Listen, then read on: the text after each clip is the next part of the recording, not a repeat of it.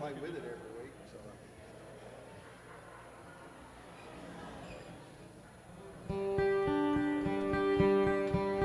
Good morning, Christian Valley. We stand as we begin our worship this morning.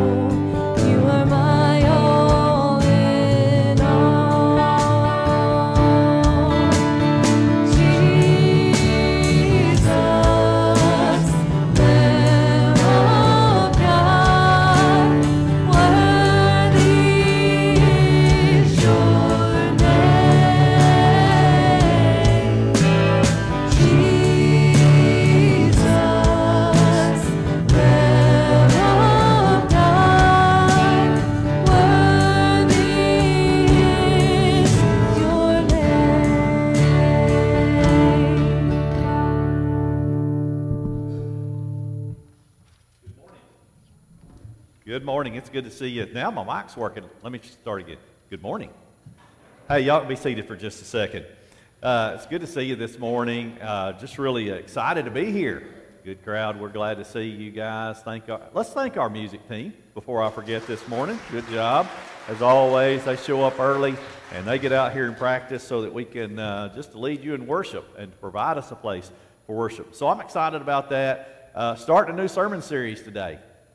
And, um, and so we're going to um, we're gonna talk this. Uh, it's a little different. I'll explain it here in just a little while, but um, excited about that. Got a few things going on here. Um, this, uh, this Wednesday, we'll be back here at the church. We've got a meal at 6. We've got our uh, Bible study for children and adults at 645.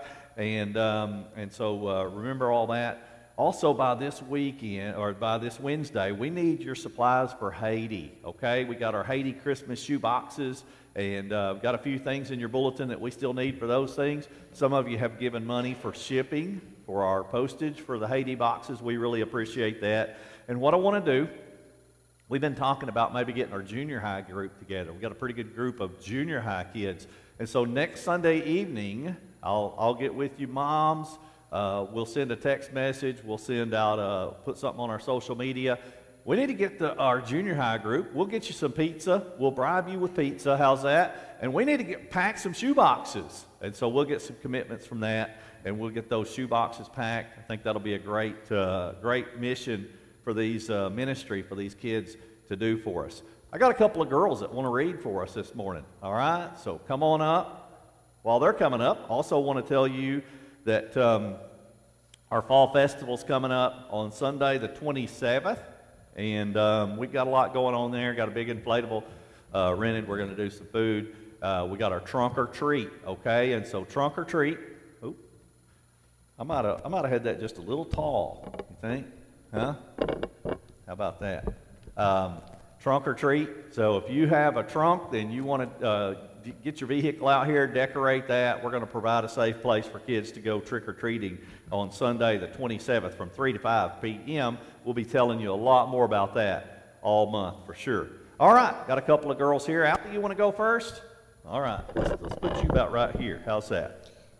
For God so loved the world that he gave his only begotten Son, that whoever believes in him shall not perish but have eternal life. John 3:16. Good job, everybody. Yep. All right. Good job. Now let's let Miss Ellery up here. Is that about right? Yeah. Okay. Um, Psalm 23, verse 4. Even though I walk through the darkest valley, I will not be afraid. You are with me. Your shepherd's rod and staff comfort me. All right. Thank you, Ellery. And I had her read that verse because that leads into our sermon today. Even though we walk through valleys of darkness here on earth, we're not going to fear evil around us. We're going to talk about that today.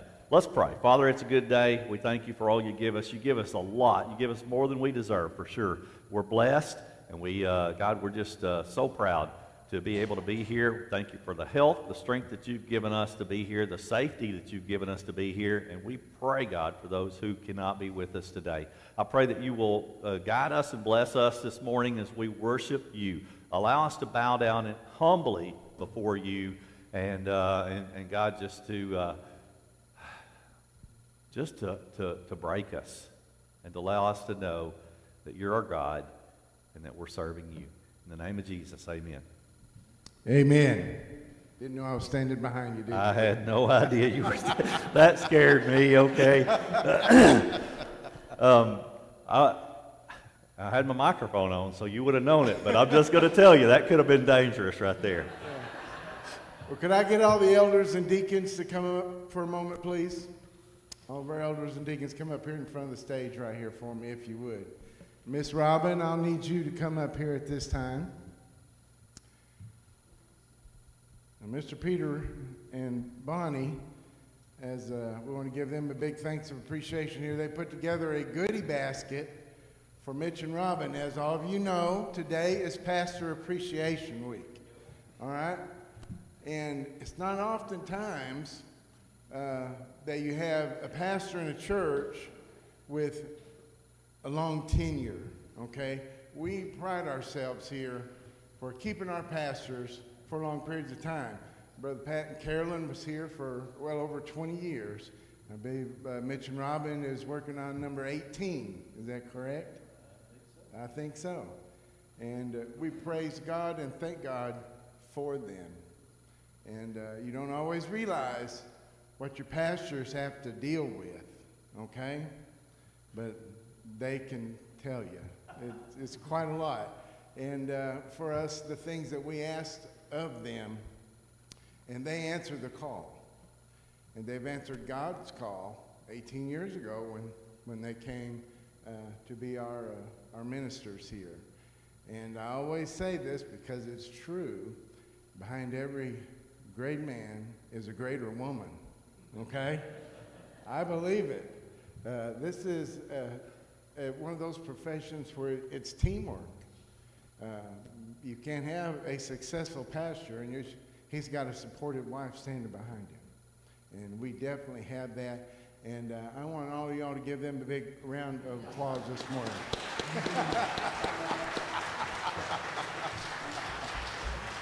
uh, amen. Well, I, hey, there we go. Brothers and sisters, you're well appreciated, and don't ever, ever think that you're not. Uh, the church also, they had a week of off last last week. Uh, first Sunday they'd been gone for a year. Is that about right? Long time. It was well deserved, and uh, and we've got to do more to make that happen more often. But the church got you all a little something here that might make your next trip a little easier. We appreciate you. Appreciate you very much. All right, let's get back to worshiping the Lord Jesus. How about it? Well, first of all, I do want to say thank you, Terry and to our elders and deacons. Also, and I should have said this earlier, I really appreciate Jeffrey for coming up last week and um, and sure it's heavy, huh? And that's a load right there. I'm telling you, I was standing here thinking I need to set this down. Uh, yeah, we, we really appreciate Jeffrey for stepping in and preaching. And I heard a lot of good compliments uh, this week on, uh, on him and, and his willingness to come up and, and speak. And so we uh, just really appreciated that. It had been a while since we'd been away, but um, I know the Lord has a plan. Somebody's to, he's going to put somebody here that can uh, go to work here with us and, um, and get us back um, to, to being able to, to leave a little more often. But thanks, Jeffrey. Be standing once again as we complete our worship today?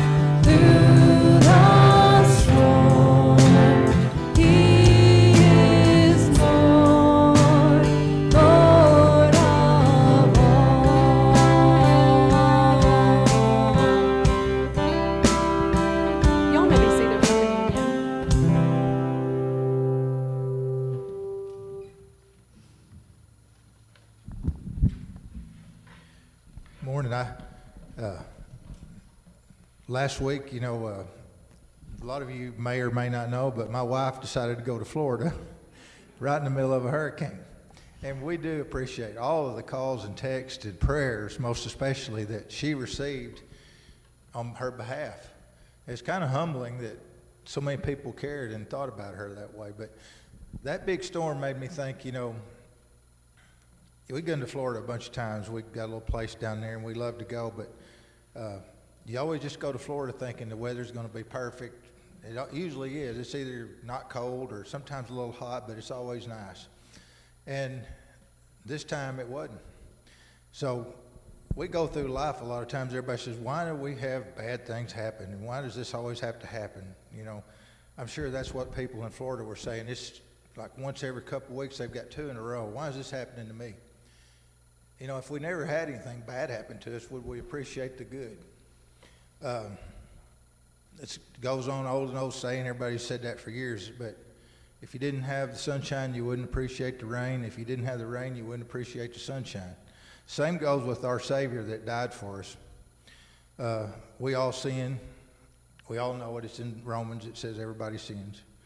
And sometimes we forget that we can have that taken away. When we have bad things happen, that's when we come back and pray. I don't think very many of us would pray that Barbara made it home safe and sound, not to be putting anybody down if she wasn't in the middle of a category hurricane. So let's just not forget our gift here. Don't wait for something bad to happen just to be grateful we have a Savior. That's my thought for this morning. If you are a baptized believer, Christian Valley has open communion. We want you to participate with us. If you would, when men come forward, if you'll bow with me, we're going to pray. Lord, thank you for this day and thank you for the good times and the bad things and, and all the things that you do to make us who we are. We just need to learn to appreciate you and, and understand that your will is your will and your power is your power and everything you do is good for us. I ask these things in Jesus' name. Amen.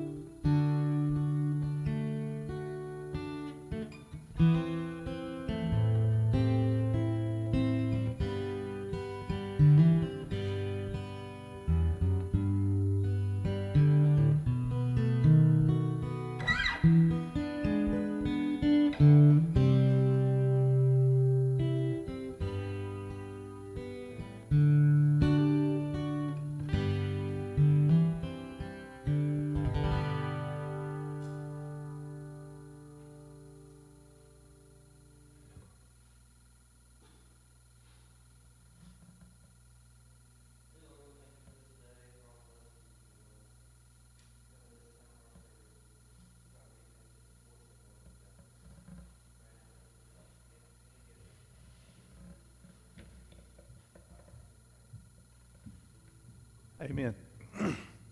Appreciate our guys for uh, serving this morning. Everybody who serves to make this uh, possible to be here and to uh, to make this church service happen for sure. Uh, we'll say thank you again. Um, you're a good church family. We love you guys, and uh, and um, you know I was just I was just back here thinking um, I, uh, what I'd like to do is um, is go out this afternoon and and take a picture of all that stuff and put it on uh, on social media and, and really brag how good you guys are.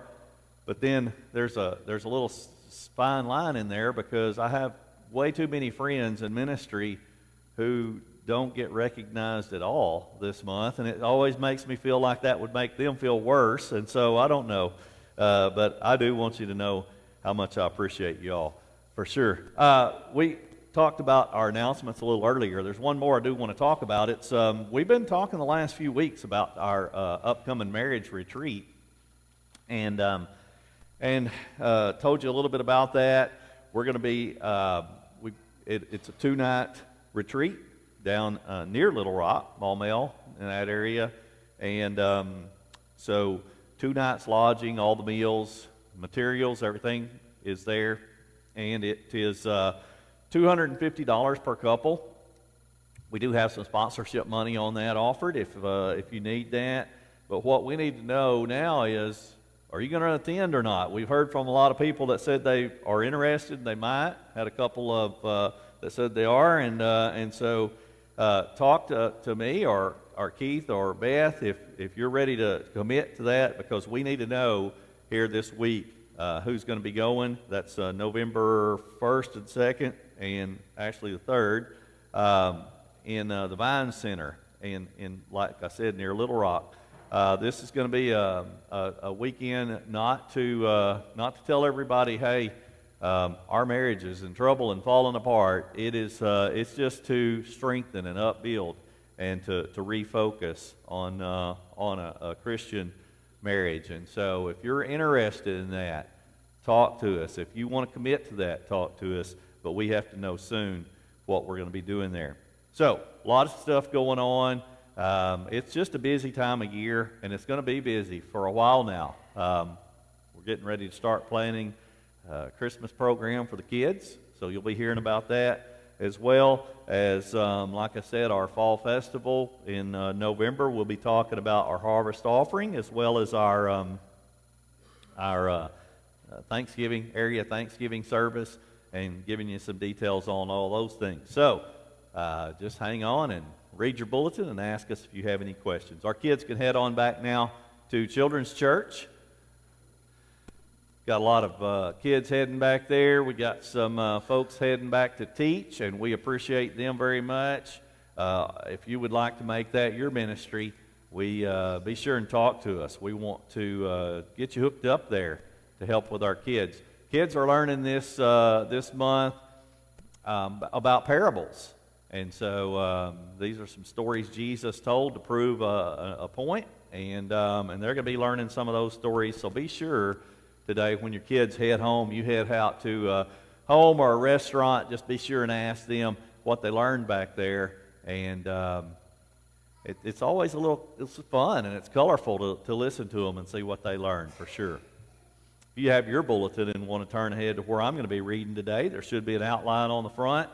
Um, yes, there is an outline on the front there, so uh, you can turn ahead so you'll uh, be able to read on your phone, your tablet. Uh, we love to hear those pages turning from the Bible, and if you don't want to do any of that, we'll just put the words here up on the screen for you. Halloween has uh, surely changed a lot over the years and over my lifetime for sure. Um, just to be honest, I'll tell you all, and I know some of you are not going to believe this, but I never really liked Halloween. I like candy, okay? And uh, one of the means that I had to uh, get a, a, a, grocery, a paper grocery bag full of candy was to go out to, to dress up in some crude outfit. We didn't have uh, this, uh, the, the costumes, store bought costumes. I never got one of those. Didn't get a mask we wore. We took an old pillowcase and and uh, and cut holes in it for eyes and, and dressed up and, and went out and knocked on some doors in the neighborhood and got some candy and, and we'd get a good haul and take those home. My grandmother was famous over in the small town where she lived, she would bake on Halloween day. She would bake up about a hundred. I mean, I remember going over there and there was just cookie sheets everywhere of popcorn balls, homemade popcorn balls, and kids would line up at the door. My grandmother would make them take their mask off because kids would go and change masks so they could come back and get another popcorn ball. Yeah, and um, and so Halloween was fun in those ways, but I never really liked scary things. Okay, and um, and and that's what Halloween kind of stands for. I've, I've never liked haunted houses. Don't want anything to do with haunted houses. Been in one, I think I can remember my whole life, and uh, couldn't get out of there quick enough. Uh, scary movies, horror movies, no way. I am not subjecting myself to have to sit here at a movie and, and put my hands over my eyes for, for a couple hours, not doing it. And if you love that stuff, I'll pray for you. Um, but, uh, but, you know, I'm not doing that because I don't like scary. Halloween has changed. It went from fun and non threatening to, to, to somewhere today where I don't understand what it is at all. We don't trust our neighbors enough to allow our children to go knock on their doors. We don't, uh, we, we provide a safe haven for trick or treat here, even at our church. We, um, there's this darkness, I believe, that surrounds Halloween now, and it's uh, really been ramped up. In fact, I went into Home Depot a few days ago uh, have you guys been in there, that seasonal area in Home Depot? And uh, if you're watching online, I know you can't see this, but this is uh, just uh, from our local Home Depot. And there's just not a lot of fun and non threatening in this picture. I mean, uh, I can't uh, show it to you, but, but in the middle here on the bottom, there's this like little creature, what, holding a knife, huh? You see that? And then this guy over here has some big stick, and then, and then that one there, it, it was called a zombie. I'm just going to tell you, I'm not sure I believe in zombies, but I don't want to be around one. All right, and uh, and so I stood there for just a second, looking at that, thinking this kind of creeps me out a little bit. And I thought spooky and scary and fun has been replaced with gory and bloody and downright creepy and so, what I decided to do was take this idea of, of evil that, that we sort of almost celebrate this month and let it inspire me on, uh, in a sermon series on evil. Okay? When Jesus told his disciples he would teach them how to pray, he said, uh, he, he, addressed his Father in heaven, and he, he said, uh, uh, ask for daily provisions he acknowledged temptation is real. And then there's this line in there that we sometimes say really quick at the end, or we may actually overlook it altogether. He said, Deliver us from evil, or deliver us from the evil one, maybe your Bible says. Do we pray that? Do we pray, Father, I know there's a lot of evil out here. Would you deliver me from the evil one? Evil is all around us. It's been around us from the, uh, from the beginning of time. The, the evil one disguised himself as a serpent in the Garden of Eden and, and tempted the man and the woman there to, to just open the door to the a world of sin. Okay? Evil caused Cain to be jealous, which led to murder. Evil caused God to flood the world, to, to start over because of the evil. He wiped out the cities of Sodom and Gomorrah because of evil. Okay? And you don't have to look very far today to find evil all around you. There is an ongoing war between good and evil. Now, there's wars all around us. The world's full of wars. Watch the news. I looked online this, uh, this week at, uh, I was shocked at how many maybe not wars, but it called them conflicts going on in the world these days. If you watch the news and you see what's going on, you're going to hear a lot about Ukraine and Iraq and Israel and Lebanon and just all these countries in the world, but there's a lot of things going on that you've probably never even heard of. That's not the only kind of war. We've been hearing for um, over 20 years now about the war on terror. We've been hearing for, for most of my adult lifetime about the war on drugs. And we hear about this spiritual war that's going on in our hearts and our heads. The spiritual war is not like the others. Okay? Let's see what Paul says about it in Ephesians chapter 6, starting in verse 10. Finally, be strong in the Lord and in his mighty power. Put on the full armor of God so that you can take your stand against the devil's schemes. For our struggle is not against flesh and blood, but against the rulers, against the authorities, against the power of this dark world, and against the spiritual forces of evil in the heavenly realms. Therefore, put on the full armor of God, so that when the day of evil comes, you may be able to stand your ground, and after you have done everything, to stand. Okay, so um, we, we've heard this. The, uh, if, if you've been in church very much, you may have heard of the armor of God. If you haven't been in church, we're glad you're here. Okay, this is this is how we learn. All right, and and and and so Paul says we're going to put. He's going to tell us in a little bit to put on the armor of God to withstand the devil. But did you notice here? And I think sometimes we skip over this. He said he called it the devil's scheme the devil's schemes. The schemes, that, that kind of has this underlying, kind of this, eh, uh, not immoral kind of thing, like the devil's cheating a little bit. He's, he's kind of dressing up. He's got schemes. And then he, he tells us, hey, this is a war, but it's not a flesh and blood war. It's a different, it's a war we don't see. We've heard about this armor of God. We're supposed to gear up so that we're protected. And we do a lot of things where we gear up.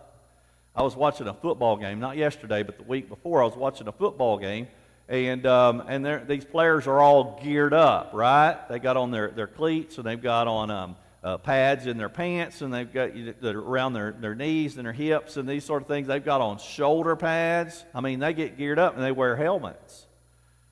And so one of the players was out there and he was running the football and, and it was a penalty, but uh, a guy grabbed him by the, the, ma- the face mask, the bars there, and ripped his helmet off, okay? And so when that happens, the play automatically stops. But nobody heard the whistle, and this guy was running with the football and no helmet.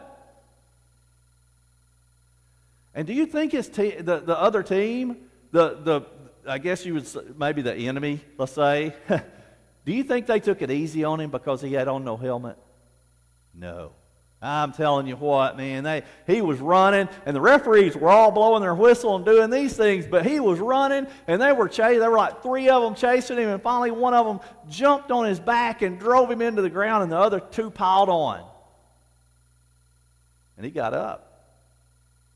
And he did this. Uh, he showed them who was boss, right? But I'm going to tell you, that worked for one play. If he tried to play the whole game like that, it wouldn't be long before he'd be in, the, in there uh, seeing stars. He'd have cuts and bruises. He'd have a concussion because you couldn't play the game of football. If everybody was wearing a helmet and you weren't, you'd get hurt really bad. There's some things in life we wouldn't do unless we're protected. This spiritual war is not supposed to be any different. Paul says that, that this is not like the other wars that we've heard of. This is a different kind of war, not a flesh and blood war. It's an enemy, uh, it's a battle against this enemy that we don't see. And that might make it even more difficult sometimes, okay? If, if, if the devil just walked down this aisle right now, I'd get ready, okay? I'd, I'd, get, I'd, get, my, I'd get a solid base here. I'd put my, my hands right here. I'm, you know, I might not last long, but I would give it a shot. We can't see the devil. He, and, and the devil's full of schemes. It's, a, it's, it's against this uh, enemy that masquerades and manipulates. And that makes it very difficult. One thing that is the same maybe you've watched a movie, you've read books about wars, and, and you know that uh, after, after especially a movie, you know, and these hand to hand wars, there's always this one guy, and he's been through all the battle and he walks across the battlefield slowly afterward. He's the victor, and there's casualties everywhere, right? He's having to step over them, step across them. He looks at them. There's casualties, there's fatalities everywhere. And that is one thing that is the same in this spiritual war that, is, uh, that, that we can relate to is the devil is leaving a wake of casualties behind him. It's time for us to pick a side, folks. You've got to decide if this is a war, you've got to be on one side or another. You can't stand in the middle. If that's the truth, ne- neither side is going to like you. You've got to pick a side. When it comes to the welfare of our kids and our grandkids, it's time for us to pick a side. When it comes to the, to the direction of our country, it's time for us to pick a side. When it comes to the commitment that we need to follow good, not evil, it's time for us to pick a side our spiritual enemy is hard to recognize. Paul says this battle is, is, uh, is against this enemy that we don't fight hand to hand, this invisible enemy. Uh, we don't draw a sword, okay? We don't, that's not the, the kind of battle where we're not using uh, weapons, we're not using tanks, we're not using radars, we're not using planes. And, and it's hard for us to even spot our enemy in this thing.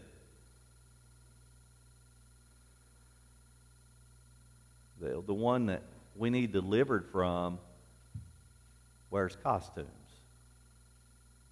It's not trick or treat costumes, but he pretends to be somebody he's not.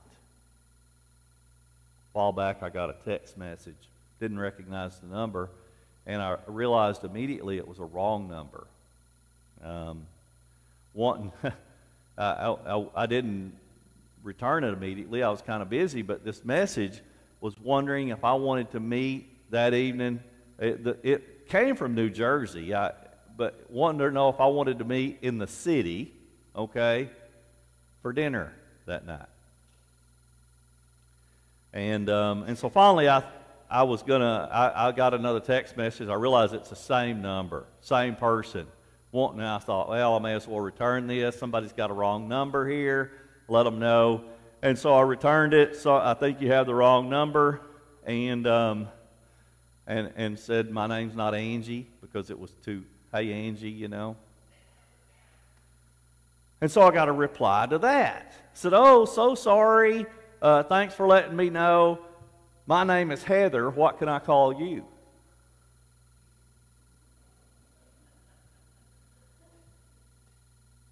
She don't know me. And I thought about that a little bit. I replied, happily married. You can call me happily married. And I thought that was about the best answer I could come up with. I uh, never heard any more, okay? I'm pretty sure there was some kind of scam going on there, okay? I'm just saying. We live in a world full of scams. Your debit card gets compromised. You get things in the mail. You get emails. I'm still uh, waiting on all that money from Nigeria. The queen over there is supposed to be sending me money for years now. Haven't gotten any. Text message scams, all kinds of scams. I'm getting things from my bank saying don't click on links. I don't know now what I'm supposed to do, what I'm not supposed to do. Listen, folks, there's been a scammer in our midst since the world began.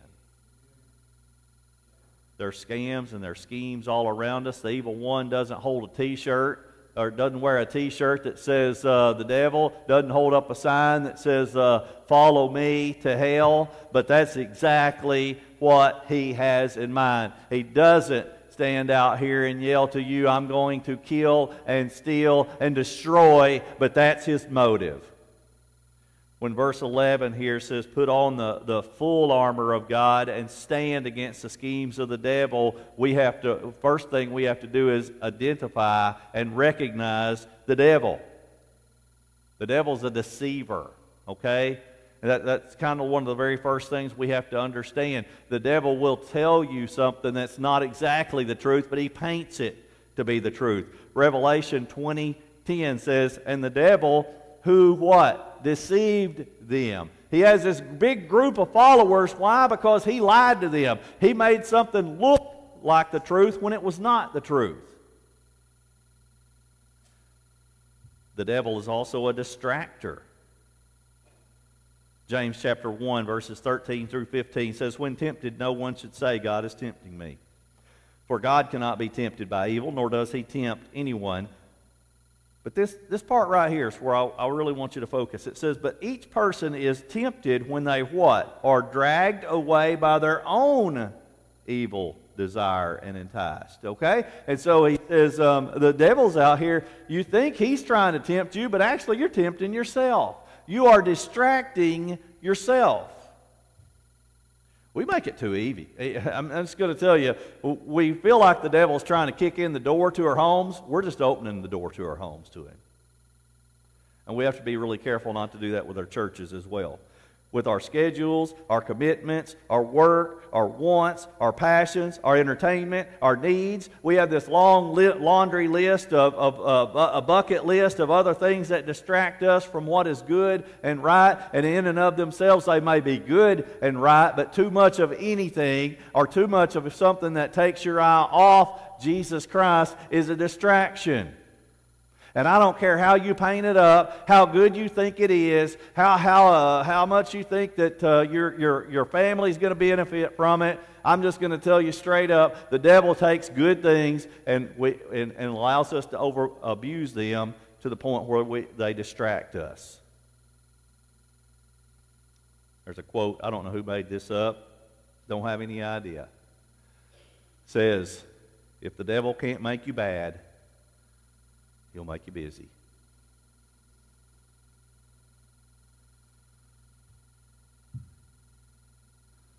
The world's full of a lot of good people who are too busy to follow Jesus. And I'm afraid that hell's going to be full of a lot of good people who were too busy to follow Jesus. The devil's also a uh, desensitizer. A desensitizer. This one's a little different. This one's dangerous, though. Like if you go to the dentist, you ever been to the dentist and you get, uh, you know, you get two or three shots in your mouth and your, your mouth feels, it feels like a balloon, okay? So you're walking around out here and you can't talk, like, and your, people are like, what? What'd you say? You know, and when your mouth it feels like that, I'm just going to give you some advice. Like, give it a couple hours before you go get a, cup, a bag of Doritos or something.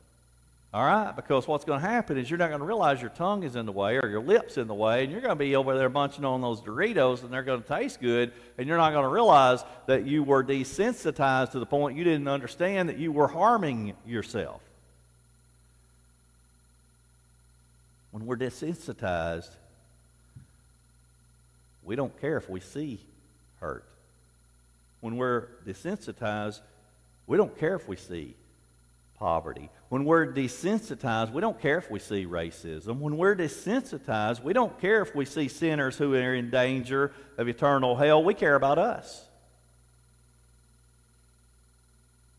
When we're desensitized, the things of God, the good things of God, become really trivial. The beauty of life is just reduced to a clump of cells beauty of love is replaced by lust. The beauty of marriage is just a battleground for sexual rights. The beauty of how God created us, male and female, is complicated by what we've been told are civil rights. Now, get this straight, and I'm going to say this once, I'm going to say it plain, okay? These things and these people are not our enemy, they're a victim of our enemy. That makes sense? Okay? But we're desensitized. And it's getting worse all the time. We're like this frog that's in a pot of hot water. We didn't realize that the heat was turned up so slowly that it went from cold to boiling, and we never noticed. The Word of God hasn't changed. Isaiah chapter 5, verse 20 says, Woe to those who call evil good and good evil who put darkness for light and light for darkness, who put bitter for sweet and sweet for bitter. This fight is not against flesh and blood. And that makes it a whole lot more uh, difficult for us. The spiritual forces we fight against, uh, uh, fight against. I'm just going to tell you, the spiritual forces we fight against hate your soul. I, mean, I'm just going to tell you. It's not like we're all, oh, we're all just friends out here hanging out. We're, we're on a different team. That's not true. The spiritual forces we fight against hate your soul. And they want you to be destroyed, and they want your life to be miserable, and they dress up evil to make it look good. We're called to be strong and mighty. Let's read on, verse 13. Therefore, put on the full armor of God, so that when the day of evil comes, you may be able to stand your ground, and after you have done everything, to stand. Stand firm then, with the belt of truth buckled around your waist, with the breastplate of righteousness in place, and with your feet fitted with the readiness that comes from the gospel of peace. In addition to all this, take up the shield of faith with which you can extinguish all the flaming arrows of the evil one. Take the helmet of salvation and the sword of the Spirit, which is the word of God. Paul says, stand firm. Okay, we're going to be geared up, but I think this is really important for us to, to realize that we've got to stand firm. Get a good foundation, kind of dig in, okay? If you're in a tug of war and you're, uh, you're pulling on a rope, you, you, the first thing people do, right, they dig in. You watch a baseball player. He comes up, wants to hit a home run, wants to hit one over the fence. What's the first thing they do? They take their foot and they dig a little hole there so they've got a really strong foundation. We need to stand firm. That's a common theme throughout the Bible. But honestly, we're never going to be able to stand firm without this protection. He talks about the helmet that reminds us of what Jesus did, the breastplate that protects our heart right here, the, the belt that is truth, the shoes that are the gospel of peace, the, uh, our weapon, uh, like a sword, is the word of God. But there's one more thing Verse 18, and pray in the Spirit on all occasions with all kinds of prayers and requests. With this in mind, be alert and always keep on praying for all the Lord's people. Pray also for me that whenever I speak, words may be given me, so that I may fearlessly make known the mystery of the gospel, for which I am an ambassador in chains. Pray that I may declare it fearlessly as I should. He says, I, I, let's just all pray about this. We need to be prayers. We need to pray from the Lord. Uh, pray that the Lord, Jesus prayed, Lord, deliver me from the evil one. If Jesus prayed that, if Jesus knew he needed the Lord's help, don't you think maybe we should take a hint? Don't be afraid to, to, to pick a side. Don't be afraid to stand your ground. I think sometimes we're afraid to identify because it exposes us as, as, as a follower or as a believer. You may worry. Uh, you know, I, I don't want to, if I tell everybody how I feel, I may offend somebody. It's time to offend some people, maybe. I don't know. I told you guys earlier, I told you when we let off this sermon here that I was a little bit appalled by what I saw in Home Depot. And I would not doubt but what somebody in this crowd right here, sitting in these pews, have one of those inflatables in your yard, okay? And I'm good with that. Seriously. We need to get rid of this idea that if we disagree about something that we hate each other. We can, we can see things differently and love each other, all right? That's the truth. We're not living in this world. Sometimes I think we're told you, if you like this, then, then you hate this people. And if you like this thing, then, then, then you totally agree with everything that they belong to. That's not true. That's a lie. That's the devil talking to you and scheming and deception and all these things we just talked about. When we pray, deliver us from evil, we may just uh, immediately think that the things that hamper our happiness and distract us from a, a full life and, and worry us and harm us are just going to all magically go away. I wish I could say it was, but probably not. I think maybe when we pray, deliver us from evil, it just means that we're going to have the strength and the wisdom and the willpower to recognize and avoid the situations where mo- we are most vulnerable. And so, what's our takeaway today?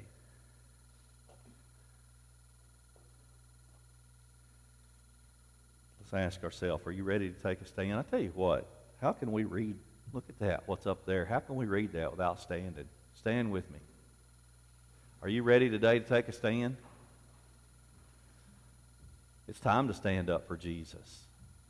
It's time to stand up against the evil one. It's time to stand up against his schemes. It's time to stand firm until the end. It's time for us to stand up for what we believe.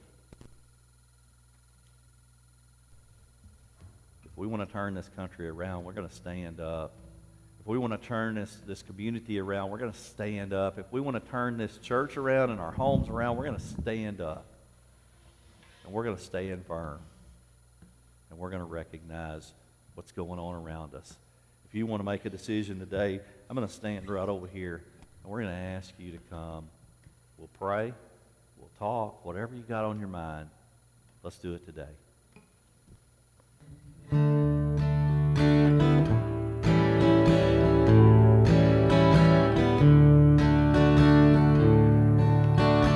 Jesus.